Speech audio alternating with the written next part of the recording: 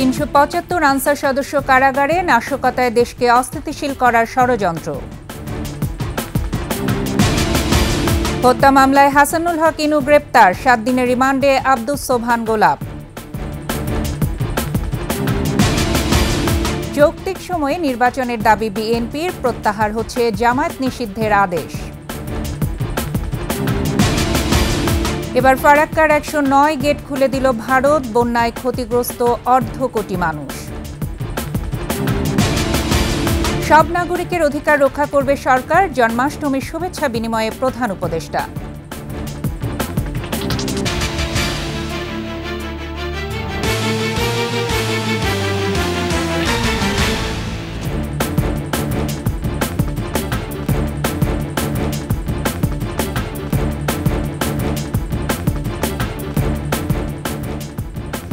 শুনছিলেন First Security Islami Bank PLC সংবাদ শিরোনাম। সন্ধ্যার একুশে সংবাদে প্রত্যেককে আমন্ত্রণ জানাচ্ছি, আমি ফারজানা আখি।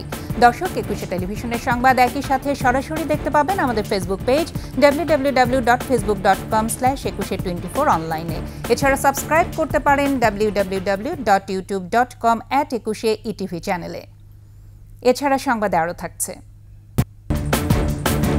মাগুরায় চলছে আতাতের রাজনীতি সুস্পষ্ট অভিযোগ থাকলেও মামলায় নাম নেই আওয়ামী লীগ নেতাদের।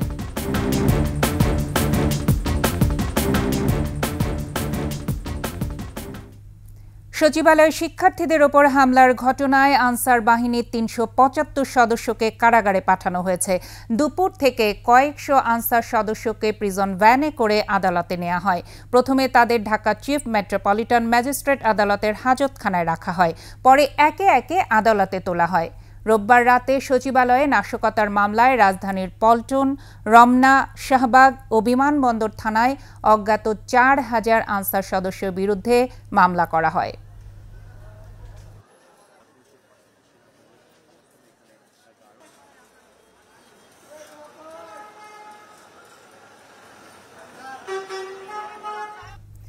চাকরি জাতীয়করণের দাবিতে রোববার সচিবালয় অবরুদ্ধ করে রাখে আনসারের একদল সদস্য। ছাত্র জনতার উপর হামলাও চালায় তারা। এ নেপথ্যে আছেন আনসারের সাবেক মহাপরিচালক মেজর জেনারেল আমিনুল হক। বন্যার সময় দাবি দেওয়ার নামে আনসারদের এই বিশৃঙ্খলা উদ্দেশ্যমূলক দেশকে অস্থিতিশীল করার ষড়যন্ত্র বলে মনে করছেন অন্তর্বর্তী সরকারের উপদেষ্টা বৈষম্য বিরোধী ছাত্র আন্দোলনের সমন্বয়ক ও শিক্ষার্থীরা। বিস্তারিত জানাচ্ছেন দীপু শিকদার।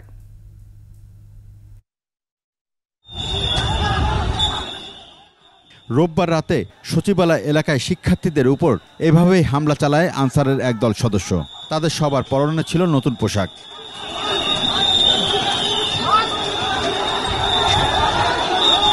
বৈষম্য বিরোধী ছাত্র আন্দোলনের সমন্বয়ক ও অন্তর্বর্তীকালীন সরকারের উপদেষ্টা নাহিদ ইসলাম, সমন্বয়ক সার্জিস আলম, হাসনাত আবদুল্লাহ সহ অনেককে আটকে রাখা হয়েছে। এমন খবর ছড়িয়ে পড়লে ঢাকা বিশ্ববিদ্যালয়ের বিভিন্ন হল থেকে টিএসসির রাজু ভাস্কর্যে জড়ো হন শিক্ষার্থীরা। কিছুক্ষণ পর তারা মিছিল নিয়ে সচিবালয় এলাকায় যান। সেখানে শিক্ষার্থীদের উপর চড়াও হন আনসারের একদল সদস্য। আমরা মনে করি তারা ওই পরাজিত শকুন। যেই শকুনরা রাষ্ট্রের স্থিতিশীলতা চায় না যেই শকুনরা চায় রাষ্ট্র আবার ওই ফ্যাসিস্টদের হাতে যাক। হামলায় বৈষম্য বিরোধী ছাত্র আন্দোলনের সমন্বয়ক হাসনাত আবদুল্লাহ সহ চল্লিশ জন শিক্ষার্থী গুরুতর আহত হন। শেখ হাসিনা চার মেয়াদে প্রায় ষোলো বছরে নিয়োগ পাওয়া আনসারের একদল সদস্য বন্যার সময় কেন এমন বিশৃঙ্খল পরিস্থিতি তৈরি করলেন তা নিয়ে প্রশ্ন উঠেছে। এর নেপথ্যে আনসারের সাবেক মহাপরিচালক major general A K M Aminul হকের ইন্ধন আছে কিনা তা খতিয়ে দেখা হচ্ছে। প্রতিরক্ষা বাহিনী করে আমিনুল হকের বড় ভাই আওয়ামী লীগ নেতা ও সাবেক উপমন্ত্রী A K M Enamul Haque Shamim. শরীয়তপুরে দুই আসনের সাবেক সংসদ সদস্য তিনি। বিএনপি জামাতের সঙ্গে যুক্ত হয়েছে তথাকথিত কিছু সুশীল বাবুরা। এরা কারা? দেশবাসী তাদের ভালো করেই চেনেন। ছাত্র আন্দোলনের সময় পুলিশ র্যাব বিজিবি ও আনসার বিএনপি জামায়াত মোকাবেলা করেছে বলে একাধিকবার বক্তব্য দেন এ কে এম আমিনুল হক।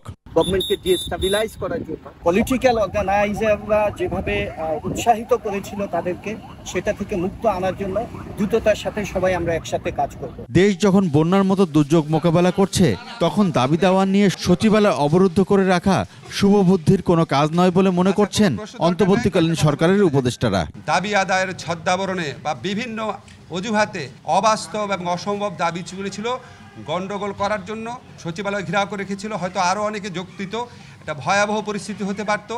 যেই জাগ্রত ছাত্র সমাজ অপরিসীম ত্যাগের ভূমিকা তারা এই পুরা পরিস্থিতিটা তারা মোকাবেলা করেছে। আনসারের বিতর্কিত সদস্যদের কোনো ছাড় নয় বলেও হুঁশিয়ারি তাদের। এই সরকারের ম্যান্ডেট কিন্তু ভেরি স্ট্রং ছাত্র জনতা রাজপথে রক্ত দিয়ে এই এই সরকারকে আনছে। এটা বানে ভাষা ভেসে আসা সরকার না। এটা জনপ্রত্যাশার সরকার। এবং আমরা সরকার এই জনপ্রত্যাশাকে মিট করার জন্য যত কঠোর ব্যবস্থা হোক আমরা নিব। শিক্ষার্থীরাও মনে করেন সারা দেশের মানুষ যখন ঐক্যবদ্ধভাবে বন্যা পরিস্থিতি মোকাবেলা করছে তখন দাবি দেওয়ার উস্কানিমূলক কর্মকাণ্ড চালাচ্ছেন আনসারের একদল সদস্য। স্বৈরাচার যারা ফ্যাসিস্ট যারা ওরা হচ্ছে বিভিন্ন বাহিনীতে তাদের লোক শুধু ডিআইজি বলেন বা বিভিন্ন লেফটেন্যান্ট কর্নেল বলেন সব জায়গায় তারা ছিল। তো উপর থেকে তারাই হচ্ছে নির্দেশ দিচ্ছে এদের। ওদের মধ্যে অনেকে ছিল ছাত্রলীগ। এরা হচ্ছে পোশাকদারি ছাত্রলীগ ঠিক আছে? এরা এরা এরা বিভিন্ন ধরনের আনসারের পোশাক পরা এরা ছাত্রলীগ হয়ে ঢুকছে। ওদের মোটিভটা সম্পূর্ণ ছিল হচ্ছে কি এখানে একটা হ্যাসেল ক্রিয়েট করা এখানে হচ্ছে কি একটা গ্যাঞ্জাম ক্রিয়েট করা যাতে স্টুডেন্টদেরকে ওরা খেপিয়ে দিতে পারে স্টুডেন্টের উপর ওরা প্রতিশোধ নিতে পারে। অন্তর্বর্তীকালীন সরকারকে বিপদে ফেলতে নানা চক্র সক্রিয় আছে। তাদের সমূলে উৎপাদন করতে হবে বলেও মত তাদের। ওরা শেখ হাসিনার নীল নকশা বাস্তবায়নের লক্ষ্যে এরা এরকম অতর্কিত হামলা চালাইছে। দীপু শিকদার একুশে টেলিভিশন ঢাকা।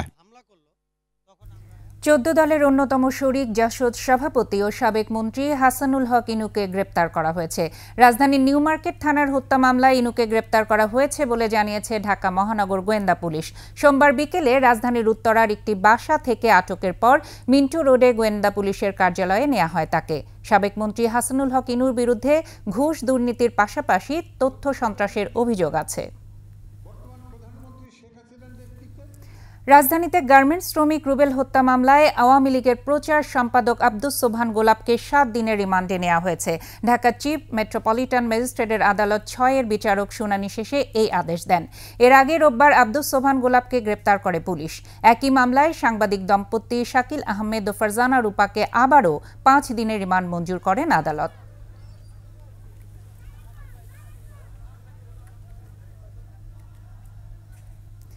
শেখ হাসিনার বিশেষ সহকারী আব্দুস সোবহান গোলাপ একজন ভাড়াটে দখলদার। হাসিনার আরেক অলিগার্ক এস আলম গ্রুপের প্রধান সাইফুল আলম মাসুদের ভাড়াটে হিসেবে একুশে টেলিভিশন সহ শতাধিক প্রতিষ্ঠান দখল করেন। যুক্তরাষ্ট্রের নাগরিকত্ব ত্যাগ না করেই ভোটারবিহীন একাদশ জাতীয় সংসদ নির্বাচনে মাদারীপুর তিন আসন থেকে সংসদ সদস্য হয়েছিলেন গোলাপ। নিউ ইয়র্কে একসময় ট্যাক্সি চালানো গোলাপ এখন হাজার হাজার কোটি টাকার মালিক। স্বীকৃতিবিহীন আমেরিকান ওয়ার্ল্ড ইউনিভার্সিটি থেকে ডক্টরেট ডিগ্রি নেয়া গোলাপের আদ্যপান্ত কালকিনি উপজেলা প্রতিনিধি রকিবুজ্জামানকে সাথে নিয়ে জানাচ্ছেন মানিক শিকদার। একুশে টেলিভিশন ইসলামী ব্যাংকের মতো শীর্ষ ব্যাংক সহ শতাধিক প্রতিষ্ঠান দখলে এস আলম গ্রুপের প্রধান সাইফুল আলম মাসুদের ভাড়াটে হিসেবে কাজ করেছেন শেখ হাসিনার বিশেষ সহকারী আব্দুস সোবহান গোলাপ। নাসা গ্রুপের চেয়ারম্যান নজরুল ইসলাম মজুমদার, পদ্মা ব্যাংক সহ একাধিক আর্থিক প্রতিষ্ঠানের দখলদার চৌধুরী নাফিস শরাফতের মতো অলিগার্কদের পৃষ্ঠপোষক ছিলেন এই গোলাপ। টাকা বানানোর মেশিন নামে পরিচিত এই অলিগার্কদের দিয়ে শেখ হাসিনার পক্ষে প্রোপাগান্ডা চালাতেন তিনি। ক্ষমতাচ্যুত প্রধানমন্ত্রী শেখ হাসিনার হয়ে অলিগার্কদের সাথে যোগাযোগ রাখতেন তিনি। যুক্তরাষ্ট্রের নিউ ইয়র্কে ট্যাক্সি চালাতেন এক সময়। Pizza delivery, grocery shop, pharmacy স্টোরেও কাজ করেছেন। তারপর হঠাৎ করেই হাজার হাজার কোটি টাকার মালিক বনে যান আব্দুস সোফান গোলাপ। উনি ট্যাক্সি চালিয়ে রাতারাতি এত পাহাড় সম্পদ, সম্পদের মালিক কীভাবে হলো এর সুষ্ঠু বিচার এই এলাকার এই দেশের জনগণ চায় অনুসন্ধানী সাংবাদিকদের বৈশ্বিক network, organisation crime and corruption reporting project ও সিসিআরপির তথ্য অনুযায়ী যুক্তরাষ্ট্রের নাগরিকত্ব ত্যাগ না করেই দুই সালের তিরিশ ডিসেম্বর অনুষ্ঠিত ভোটারবিহীন একাদশ জাতীয় সংসদ নির্বাচনে অংশ নেন গোলাম। মাদারীপুর তিন আসন থেকে নির্বাচিত ঘোষণা করা হয় তাকে। নির্বাচিত হওয়ার আট মাস পর দুই হাজার উনিশ সালে পনেরো আগস্ট মার্কিন নাগরিকত্ব ত্যাগ করেন তিনি। তবে ভোটারবিহীন দ্বাদশ জাতীয় সংসদ নির্বাচনে স্বতন্ত্র প্রার্থী তাহমিনা বেগমের কাছে পরাজিত হন। তাৎপর্য জড়িত। দুই হাজার চোদ্দ থেকে দুই হাজার আঠারো সালের মধ্যে নিউ ইয়র্কে আটটি বাড়ি ও ফ্ল্যাটের মালিক হন আব্দুস সোভান গোলাপ আর সংসদ সদস্য হওয়ার পর দুই হাজার উনিশ সালে নিউ ইয়র্কে আরও একটি বাড়ি কেনেন তিনি। এসব সম্পদের মূল্য চল্লিশ লাখ মার্কিন ডলার বা ছেচল্লিশ কোটি আশি লাখ টাকা। সে এই হাজার হাজার কোটি টাকার মালিক কীভাবে হয়েছে এই সরকারের কাছে আবেদন, তা যাচাই বাছাই করে তার দৃষ্টান্তমূলক শাস্তি দেওয়া হোক। নরওয়ে, কানাডা ও সংযুক্ত আরব আমিরাতেও গোলাপের হাজার হাজার কোটি টাকার সম্পদ আছে বলে দুর্নীতি দমন কমিশনের কাছে তথ্য আছে। রোববার রাজধানীর পশ্চিম রাখালপাড়ায় এক বাসা থেকে গ্রেফতার হওয়া আব্দুস সোবান গোলাপ নিজ এলাকাতেই ত্রাসের রাজত্ব কায়েম করে অনেককেই উচ্ছেদ করেছেন, সম্পদ বাড়িয়েছেন। কালকিনিবাসী তার বিগত পাঁচ বছরের নিবিড় নির্যাতনে দিশাহারা হয়ে গেছে কে ঘরে ঘুমাইতে নাই। আতঙ্কিত থাকছে। অনেকে যুদ্ধ বস্তু করিয়া জায়গা দখল করিয়া এই এই এইসব সে দখল করিয়া হেপারে এত টাকার মালিক হয়েছে শুধু একটাই আমার দাবি যে এই সরকার যেন এই স্বৈরাচারী যত অল্লি পল্লি শেকর বাকর যা আছে সমস্ত খুঁজা এদের আইনের আওতায় আনে। গোলাপার তো ভালো আছে কেন? এখানে লুক কাকা নিব কারে হেল্পার করব নিজ দল আওয়ামী লীগেও জনপ্রিয়তা ছিল না তার। অত্র এলাকার কিছু মুক্তিযোদ্ধা তার পক্ষে মুক্তিযোদ্ধা বলে দাবি করে। যার পরিপ্রেক্ষিতে সে মুক্তিযোদ্ধা দুই হাজার সতেরো সালে প্রমাণিত হয়। এখন তার জানতে পারলাম যে যারা সাক্ষী দিয়েছেন, তারা এখন মুক্তিযোদ্ধা অস্বীকার করছেন। পুলিশের ভোটে সে প্রথম নির্বাচিত হয়। সে হয়ে সর্বপ্রথম আমাকে বাড়ির থেকে ধরে আয় না তার বাড়িতে টর্চার সেল বানাইছে। সেই টর্চার সেলে আমাকে সারা রাত্র সেখানে নির্যাতন করছে। গোলাপের স্ত্রী গুলশান আরার নামেও যুক্তরাষ্ট্র কানাডা ও সংযুক্ত আরব আমিরাতে আছে শত শত কোটি টাকার সম্পদ। শেখ হাসিনা যুক্তরাষ্ট্র সফরে গেলে তার লাগেজ টানা গোলাপ ও তার পরিবারের সদস্যদের নামে দেশে বিদেশে থাকা অবৈধ সম্পদ ফিরিয়ে আনা জরুরি বলে মনে করছেন বিভিন্ন শ্রেণি পেশার মানুষ। এখন আমরা চাই তার উপযুক্ত বিচার করুক সরকার। মানিক শিকদার একুশে টেলিভিশন, ঢাকা। মাগুরায় চলছে আতাতের রাজনীতি। বিশ্বাসযোগ্য অভিযোগ থাকা সত্ত্বেও হত্যা মামলায় আসামি করা হয়নি আওয়ামী লীগ নেতাদের। বিএনপির ত্যাগী নেতাদের অভিযোগ, সাবেক হাসিনা সরকারের সুবিধাভোগী হওয়ার কারণেই অর্থের বিনিময়ে আতাত করছেন জেলা বিএনপির কয়েকজন নেতা। মাগুরা প্রতিনিধি মাসুম বিল্লার তথ্যচিত্রে রিপোর্ট করছেন খুশিদ আলম মুকুল। ছাত্র জনতার আন্দোলনে গত চার আগস্ট মাগুরার পান নান্দুয়ালি এলাকায় মেহেদি হাসান রাব্বি ও ফরহাদ হোসেন গুলিবিদ্ধ হয়ে শহীদ হন। রাব্বির পরিবার তেরো জনের নাম উল্লেখ করে হত্যা মামলা দায়ের করেছেন। মামলা হয়েছে চট্টগ্রাম বিশ্ববিদ্যালয়ের শিক্ষার্থী শ্রীপুর উপজেলার রায়নগর গ্রামের ফরহাদ হোসেন হত্যাকাণ্ডেও। তবে ফরহাদ হত্যায় আসামি করা হয়নি অভিযুক্ত আওয়ামী লীগ নেতাদের। বিএনপির থেকে নেতাদের অভিযোগ, বিশ্বাসযোগ্য অভিযোগ থাকা সত্ত্বেও দলের কয়েকজন সুবিধাভোগী আঁতাত করেছেন স্থানীয় আওয়ামী লীগ নেতাদের সাথে। কে জড়িত কে জড়িত না? জেলা বিএনপি না নেতা এটা আমার জ্ঞাত না আমাদের সাথে আলোচনা করেন। বিগত দিনে আওয়ামী লীগের সাথে থেকে আমাদের অনেক লোকজনের অনেক ক্ষতি করেছে। তারাই এখন বিএনপির সাথে এসে আমাদের উদ্বোধন কিছু নেতার প্রশ্রয় আশ্রয় প্রশ্রয় এই কাজগুলো করতেছে। মামলায় কারও নাম দেয়া বা বাদ দেয়ায় কোনো ভূমিকা নেই বলে দাবি করেছেন জেলা বিএনপির নেতা মনার হোসেন খান। বিগত সরকারের মাগুরায় যে সমস্ত লোকজন তাদের কাছ থেকে সুযোগ সুবিধা নিয়েছে সব সময় তাদের সাথে যোগাযোগ এবং তাদের দিয়ে অনেক কিছু করেছে। এমনকি বিএনপির অনেক লোককে হয়রানি করেছে।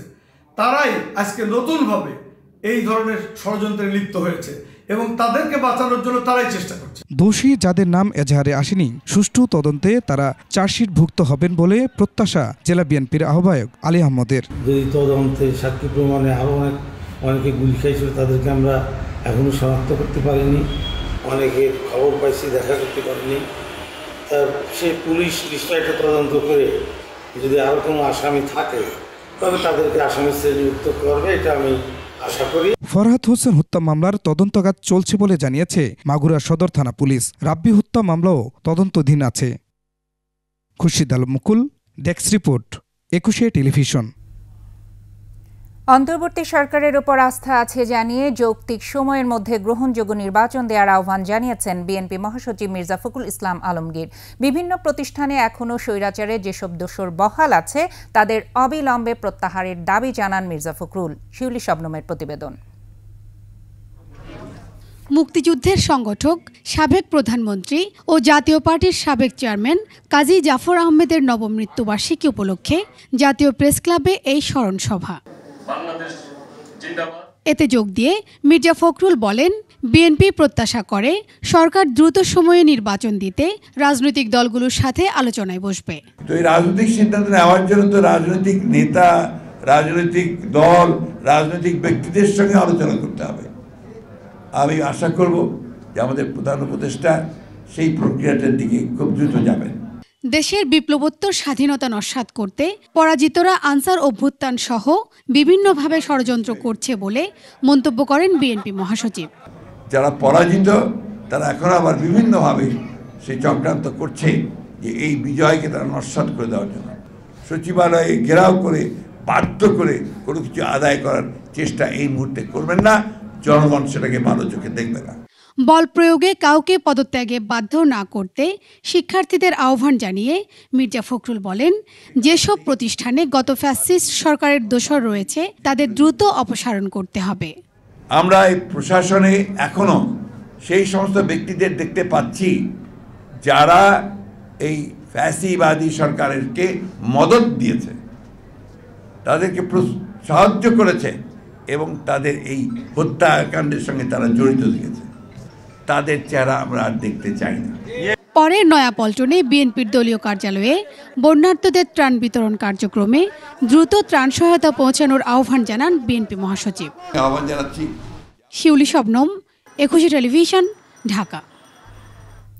আগামীকাল জামায়াত নিষিদ্ধের আদেশ প্রত্যাহার হতে পারে বলে জানিয়েছেন আইনজীবী শিশির মনির। সুপ্রিম কোর্টের এনএক্স ভবনের সংবাদ সম্মেলনে আইনজীবী শিশির বলেন, জামায়াত নিষিদ্ধের আদেশ প্রত্যাহার করতে আবেদন করা হয়েছে। এ নিয়ে আলোচনা শেষে সরকারের পক্ষ থেকে আদেশ প্রত্যাহার করা হবে বলে জানান আইনজীবী। আরও বলেন, সন্ত্রাস বিরোধী আইনের ১৯ নম্বর ধারা অনুযায়ী সরকার আদেশ প্রত্যাহার করতে পারে। অসৎ উদ্দেশ্যে আওয়ামী লীগ সরকার এটা করেছিল বলে মন্তব্য করেন আইনজীবী শিশির মনির। এদিকে জামায়াতের নিবন্ধন নিষিদ্ধ নিষিদ্ধের বিরুদ্ধে পুনর্বিবেচনা চেয়ে শিগগিরই আবেদন করা হবে আপিল বিভাগে। গত পহেলা আগস্ট নির্বাহী আদেশে জামায়াতকে নিষিদ্ধ করা হয়। আমাদের পক্ষ থেকে আমরা স্বরাষ্ট্র মন্ত্রণালয়েকে রিকোয়েস্ট করা হয়। এই রিকোয়েস্টের অংশ হিসেবে তারা আমাদেরকে জানিয়েছেন, সকল প্রশাসনিক কর্মকাণ্ড সম্পন্ন হয়েছে। আজকে সরকারি ছুটির দিন। তাদের দেয়া তথ্য অনুযায়ী আমরা আশা করছি দ্রুততম সময়ের মধ্যে, এমনকি আগামীকালকের মধ্যেই এই নিষিদ্ধের আদেশটি প্রত্যাহার হবে বলে আমাদের তথ্যমতো কনফার্ম করেছেন। আশা করি আগামীকাল অথবা দ্রুততম সময়ের মধ্যেই তারা আরেকটি প্রজ্ঞাপন জারি করে, অতীতের জারি করা প্রজ্ঞাপনটি বাতিল ঘোষণা করবেন। এদিকে জামাতকে নিষিদ্ধ করে হাসিনা নিজেই নিষিদ্ধ হয়ে গেছে মন্তব্য করে দলের সেক্রেটারি জেনারেল অধ্যাপক মিয়া গোলাম পরোয়ার বলেন, জনগণের বিজয়কে নস্বাত করতে আওয়ামী লীগ এখনও ষড়যন্ত্র করে যাচ্ছে। বরিশালের বাকেরগঞ্জে ছাত্র আন্দোলনে নিহতদের পরিবারের মাঝে আর্থিক অনুদান প্রদান অনুষ্ঠানে এমন মন্তব্য করেন অধ্যাপক মিয়া গোলাম পরোয়ার। পাঁচ তারিখের পর থেকে জনগণের বিজয় ছিনিয়ে নেওয়ার জন্য নতুন ষড়যন্ত্র চক্রান্ত শুরু হয়েছে। তারা মিলিটারি কু করার চেষ্টা করেছে। সুপ্রিম কোর্টের জুডিশিয়াল কু করার চেষ্টা করেছে। অমুসলিম সনাতনী কাজে লাগিয়ে আওয়ামী লীগ অরাজকতা তৈরি করে ধর্ম, নিরপেক্ষ এবং সংখ্যালঘু নির্যাতনের কথা বলে দুনিয়ার মধ্যে বাংলাদেশকে নিন্দিত করার চেষ্টা করেছে। আনসার বাহিনীকে কাজে লাগিয়ে আওয়ামী লীগের লোকেরা সচিবালয় করে আরেকটা স্বপ্ন করেছে সকল অরাজকতা দেশপ্রেমিক সেনাবাহিনী আর তরুণ ছাত্র সমাজ ব্যর্থ করে দিয়েছে বিহার ও ঝাড়খণ্ডে বন্যার জেরে ফারাক্কা বাঁধের একশো নয়টি গেট খুলে দিয়েছে ভারত। সোমবার দুপুরে গেটগুলো খুলে দেয়া হয়। এতে একদিনে এগারো লাখ কিউসেক পানি বাংলাদেশে প্রবেশ করবে। বন্যার আশঙ্কা করা হচ্ছে বাংলাদেশের উত্তরাঞ্চলে। বন্যা পরিস্থিতি ও পাহাড়ি ঢলের বিষয়ে বাংলাদেশকে আগে থেকে তথ্য দেয়া হচ্ছে বলে জানিয়েছেন ভারতের কর্মকর্তারা। ব্যারেজ কর্তৃপক্ষ জানায়, ফারাক্কা বাঁধ এলাকায় পানি বিপদসীমার সাতাত্তর দশমিক তিন চার মিটার উপর দিয়ে বইতে থাকায় বাধ্য হয়ে গেট খুলতে হয়। তবে এখনও নেপাল থেকে পাহাড়ি ঢল না নামায় স্বস্তি প্রকাশ করেছে ভারত।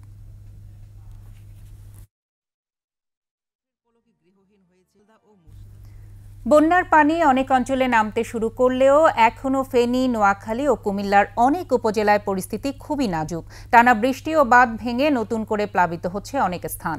দুর্গত এলাকায় দেখা দিয়েছে বিশুদ্ধ খাবার ও পানির সংকট। পর্যাপ্ত নৌকা, ট্রলার না থাকায় ত্রাণ সামগ্রী পৌঁছাতেও হচ্ছে সমস্যা। বন্যা মোকাবেলায় কাজ করছে সেনাবাহিনী, নৌবাহিনী, র্যাব, বিজিবি কোস্টগার্ড সহ বেশ কয়েকটি স্বেচ্ছাসেবী বিভিন্ন সংগঠন। প্রতিনিধিদের তথ্যচিত্রের ডেস্ক রিপোর্ট।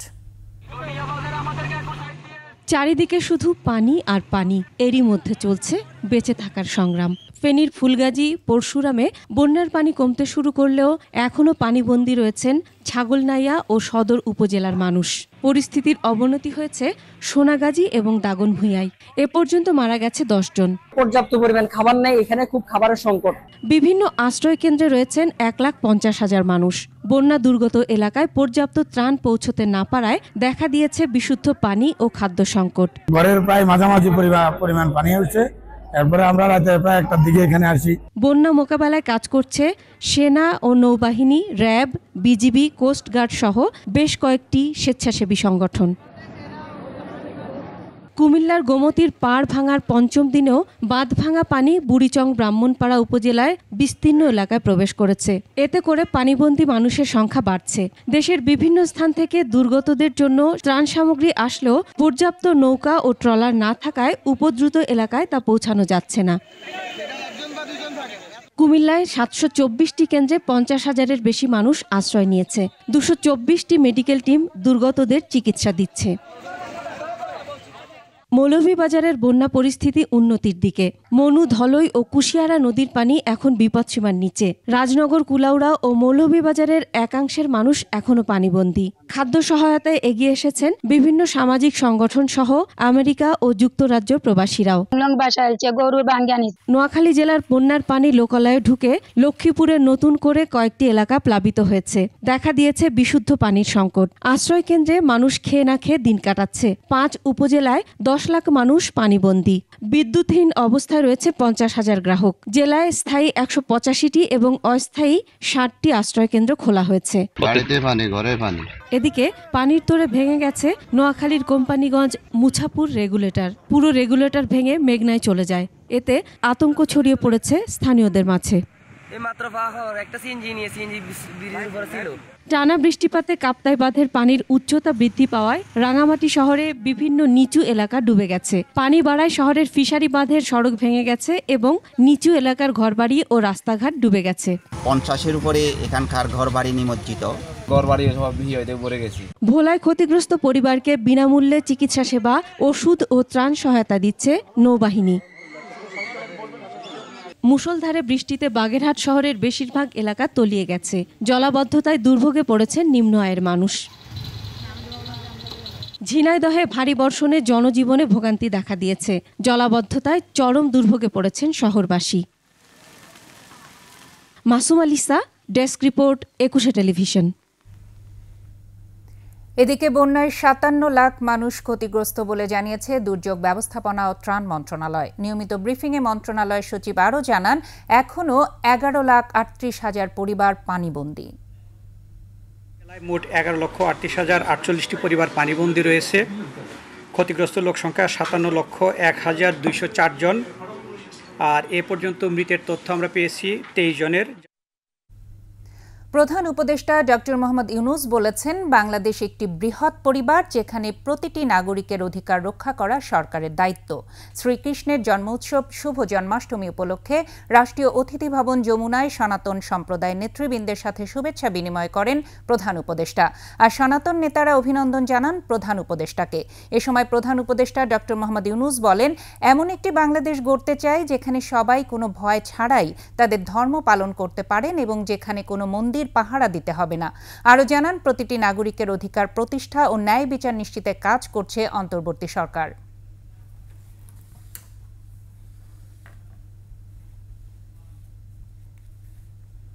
রাজনৈতিক খুঁটি হিসেবে ব্যবহার না হতে সনাতন ধর্মাবলম্বীদের আহ্বান জানিয়েছেন অন্তর্বর্তী সরকারের উপদেষ্টারা।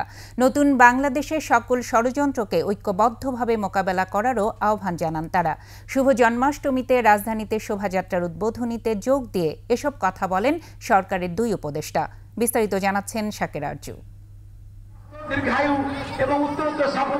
সোমবার বিকেলে রাজধানীর ঢাকেশ্বরী মন্দিরে নানা সাজে শোভাযাত্রায় যোগ দেন সনাতন ধর্মাবলম্বী বিভিন্ন বয়সী মানুষ। তাদের বিশ্বাস দুষ্টের দমন করতে যুগে যুগে ভগবান শ্রীকৃষ্ণ পৃথিবীতে আসেন। এসে সত্য ও সুন্দর ন্যায় প্রতিষ্ঠা করেন। তাই এগিয়ে আসুন এবং আমাদের রাষ্ট্রের যে বিশৃঙ্খলা আছে এটা সুস্থভাবে সুন্দরভাবে সমস্যা সমাধান হোক। আমরা সবাই যেন সুন্দরভাবে বসবাস করতে পারি। দেশটাকে সুন্দরভাবে গড়তে পারি। সকলে সকলের অনুষ্ঠানে অংশগ্রহণ করি। এই একান্ত প্রত্যাশা আমার। আশীর্বাদ স্বরূপ আমাদের মাঝে এসে এই বন্যাত্ম মানুষের পাশে এসে দাঁড়িয়ে তাদের একটা সুস্থ এবং সুন্দর পরিবেশ করে দিয়ে দেন। জন্মাষ্টমী শোভাযাত্রার আলোচনায় অংশ নেন অন্তর্বর্তী সরকারের আইন উপদেষ্টা অধ্যাপক আসিফ নজরুল ও তথ্য উপদেষ্টা নাহিদ ইসলাম। সনাতন ধর্মাবলম্বীদের একটি বৈষম্যহীন বাংলাদেশ গড়তে ঐক্যবদ্ধ থেকে কাজ করার আহ্বান জানান দুই উপদেষ্টা। যখন সংখ্যালঘু নির্যাতনের ঘটনা বাংলাদেশে বহু ঘটেছে সব সরকারের আমলে ঘটেছে। আমার শুধু একটা অনুরোধ কিছু কিছু ঘটনার ক্ষেত্রে ওটা কি সংখ্যালঘু হিসাবে নির্যাতন হয়েছে নাকি রাজনৈতিক কারণে হয়েছে নাকি ব্যক্তিগত লোভ লালসা থেকে হয়েছে এটাকে একটু ডিফারেন্সিয়েট করবেন। আমরা ঐক্যবদ্ধ থাকলে বাইরের কেউ কোনো ধরনের ষড়যন্ত্র করতে পারবে না। আমাদেরকে কিন্তু ঐক্যবদ্ধভাবে সকল ষড়যন্ত্র রুখে দিতে হবে। পৃথিবীর কোনো ধর্মই ভোটাধিকার কেড়ে নিতে বলে না। হাজার হাজার কোটি টাকা পাচার করতেও বলে না। এমন মন্তব্য করেন আইন উপদেষ্টা। ধর্মকে রাজনৈতিক উদ্দেশ্যে ব্যবহার না করার আহ্বান জানান তিনি। আপনারা কারও রাজনৈতিক খুঁটি হিসাবে ব্যবহৃত হবেন না। আপনারা স্বাধীন মানুষ, স্বাধীন জনগোষ্ঠী, সবার সাথে আপনাদের সমান অধিকার আছে। আজকে সংখ্যালঘু সম্প্রদায়কে বারবার রাজনৈতিক টুল হিসেবে ব্যবহার করা হয়, রাজনৈতিক ভোট ব্যাংক হিসেবে ব্যবহার করা হয়, কিন্তু দিন শেষে দেখা যায় তাদের পাশে কেউই দাঁড়ায় না। আলোচনায় সংখ্যালঘু নির্যাতনের বিচারের জন্য দ্রুত বিচার ট্রাইব্যুনাল সহ বিভিন্ন দাবি তুলে ধরা হয়। এছাড়াও জন্মাষ্টমীর খরচ বাঁচিয়ে বন্যার্তদের জন্য অর্থ পাঠানোর সিদ্ধান্ত নেওয়া হয় বাংলাদেশ পূজা উদযাপন পরিষদ থেকে। আলোচনা শেষে ঢাকেশ্বরী মন্দির থেকে শুরু হয়ে বাহাদুর শাহ পার্কে গিয়ে শেষ হয় জন্মাষ্টমীর শোভাযাত্রা। শাকের আরজু, একুশে টেলিভিশন, ঢাকা। সময় হলো বিরতির, যখন ফিরছি তখন অন্যান্য খবরের সঙ্গে আরও যা থাকবে। পনেরো বছর ধরে দলীয় আনুগত্যে কাজ করছে নির্বাচন কমিশন। বিচারের আওতায় আনার তাগিদ।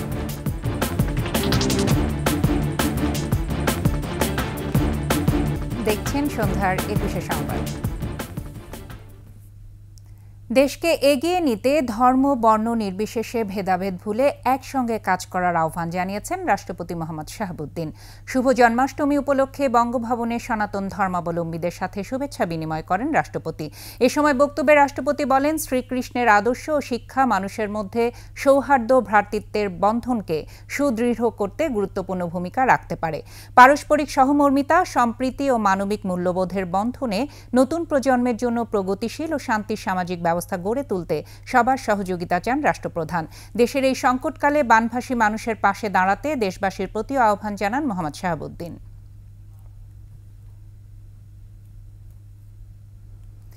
বৈষম্য বিরোধী আন্দোলনে হত্যাকাণ্ডের ঘটনায় বিচারের জন্য একটি কাউন্সিল গঠনের তাগিদ দিয়েছেন বিশিষ্ট চিন্তক লেখক ফরহাদ মজহার। জাতীয় প্রেস ক্লাব মিলনায়তনে সামাজিক সংগঠন স্বদেশের উদ্যোগে জুলাই হত্যাকাণ্ডের বিচারের দাবিতে আয়োজিত আলোচনায় এই মন্তব্য করেন ফরহাদ মজহার।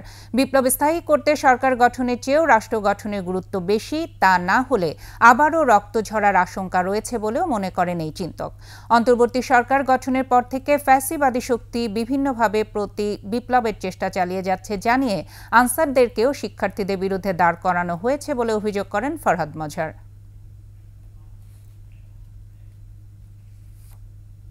সাংবিধানিক প্রতি বিপ্লব ঘটে গেছে। আমাদেরকে নতুন করে আবার কিন্তু একত্র হতে হবে, সচেতন হতে হবে। দয়া করে একটু নিজেরা ভাবেন, আপনাদের চিন্তার মধ্যে ত্রুটিটা কোথায় আছে? যেখান থেকে প্রতি বিপ্লব ঢুকে যায়। সরকারটা গুরুত্বপূর্ণ না। আজকে যে আছে কালকে সরাতে পারি। পারি না আমরা।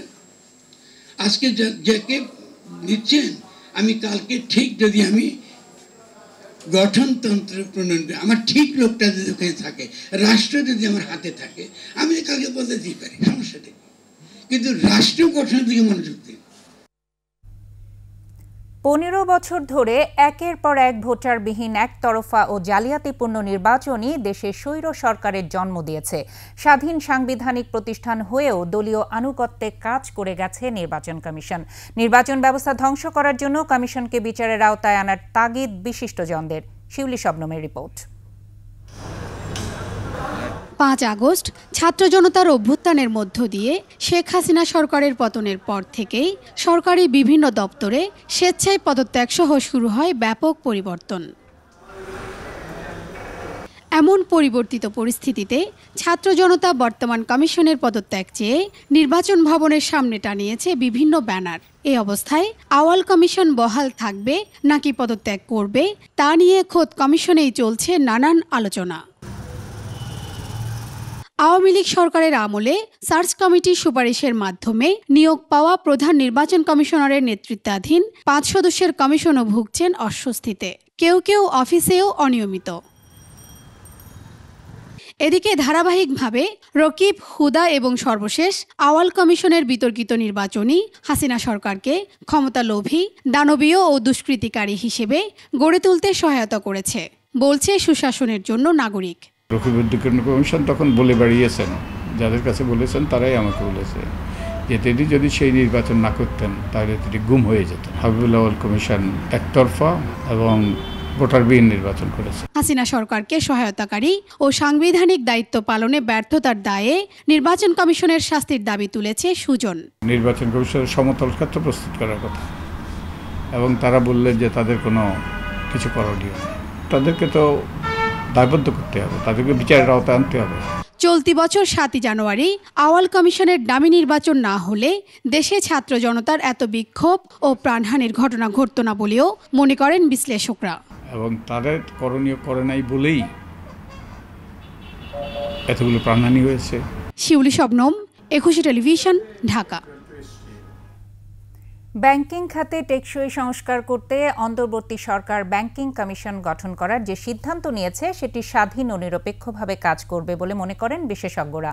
অন্যথায় গত দেড় দশকে ব্যাংক খাত যে ধ্বংসের মুখে পড়েছে, সেখান থেকে ঘুরে দাঁড়ানো কঠিন হবে। বিস্তারিত সঞ্জয় অধিকারী রিপোর্টে। পাট ও দুর্নীতির আখড়ায় পরিণত করা ব্যাংকিং খাতে সুশাসন নিশ্চিত করার জন্য আমরা উদ্যোগ নিয়েছি। দুই হাজার নয় সালে আওয়ামী লীগ সরকার ক্ষমতায় আসার পর থেকেই বিভিন্ন ব্যবসায়ী ও শিল্পগোষ্ঠীকে নানাভাবে অনৈতিক সুবিধা দিতে শুরু করে। এরই ধারাবাহিকতায় একের পর এক দখল হতে থাকে ব্যাংক ও আর্থিক প্রতিষ্ঠান। সেই সঙ্গে নামে বেনামে হাজার হাজার কোটি টাকা ঋণ নিয়ে ব্যাংকগুলোকে অন্তঃসার শূন্য করে ফেলা হয়। দুই হাজার নয় সালে যেখানে মোট খেলাপি ঋণের পরিমাণ ছিল বাইশ হাজার চারশো একাশি কোটি টাকা, দুই হাজার চব্বিশ সালে এসে সেই খেলাপি ঋণ দাঁড়িয়েছে এক লাখ বিরাশি হাজার দুইশো পঁচানব্বই কোটি টাকা। এর মধ্যে গত এক বছরেই খেলাপি ঋণ বেড়েছে প্রায় পঞ্চাশ হাজার কোটি টাকা। অর্থনীতিবিদদের মতে, এসব অর্থের বেশিরভাগই দেশের বাইরে পাচার করা হয়েছে, যা ফেরত আনা এখন কষ্টসাধ্য। অনাদায়ী ঋণ যেটা ব্যাংকিং খাতে যে দুর্নীতি, বিভিন্ন ধরনের স্ক্যাম আমরা দেখেছি আমরা দেখেছি পরিবারতন্ত্রের একটা প্রভাব ব্যাংকিং খাতে।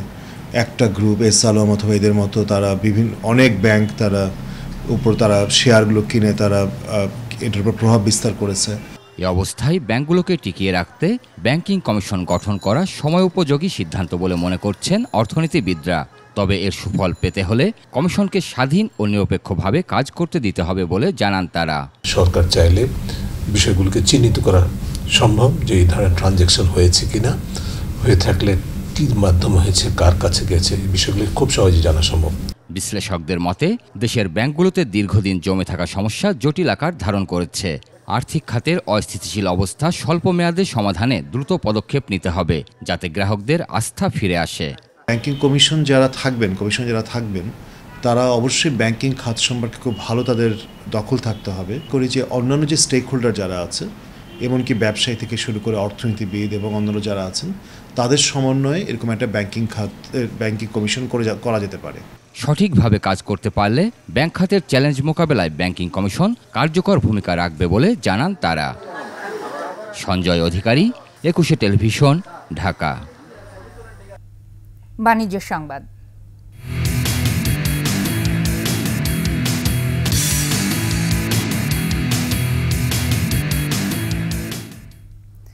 বাংলাদেশে ইসলামী ব্যাংকিং ব্যবস্থার জন্য পৃথক আইন করার পরামর্শ দিয়েছেন বিশেষজ্ঞরা। জাতীয় প্রেস ক্লাব মিলনায়তনে সচেতন ব্যাংকার সমাজ আয়োজিত গোল টেবিল আলোচনায় বক্তারা কেন্দ্রীয় ব্যাংক সহ সামগ্রিক খাতের সংস্কার দাবি জানান। রাষ্ট্র গঠনে যে সুযোগ এসেছে তা কাজে না লাগালে দেশের বড় ক্ষতি হবে বলেও মন্তব্য করে বক্তারা। ইসলামী ব্যাংককে যারা সফল করেছিল আবারও ব্যাংকটির পরিচালনার দায়িত্ব তাদের হাতে দেওয়ার দাবিও জানান বিভিন্ন শ্রেণি পেশার প্রতিনিধিরা। অবসরপ্রাপ্ত সরকারি কর্মকর্তা ব্যাংকার, অবসরপ্রাপ্ত সেনা কর্মকর্তারা আলোচনায় অংশ নেন। আর এরই সাথে শেষ করছি সন্ধ্যার একুশে সংবাদ। তবে যাবার আগে First Security Islami Bank PLC সংবাদ শিরোনামগুলো জানাচ্ছি আরও একবার। তিনশো পঁচাত্তর আনসার সদস্য কারাগারে নাশকতায় দেশকে অস্থিতিশীল করার ষড়যন্ত্র। হত্যা মামলায় হাসানুল হক, ইনু গ্রেপ্তার, সাত দিনের রিমান্ডে আব্দুস সোভান গোলাপ। যৌক্তিক সময়ে নির্বাচনের দাবি বিএনপির। প্রত্যাহার হচ্ছে জামায়াত নিষিদ্ধের আদেশ। এবার ফারাক্কার একশো নয় গেট খুলে দিল ভারত, বন্যায় ক্ষতিগ্রস্ত অর্ধ কোটি মানুষ। এবং সব নাগরিকের অধিকার রক্ষা করবে সরকার। জন্মাষ্টমীর শুভেচ্ছা বিনিময়ে প্রধান উপদেষ্টা।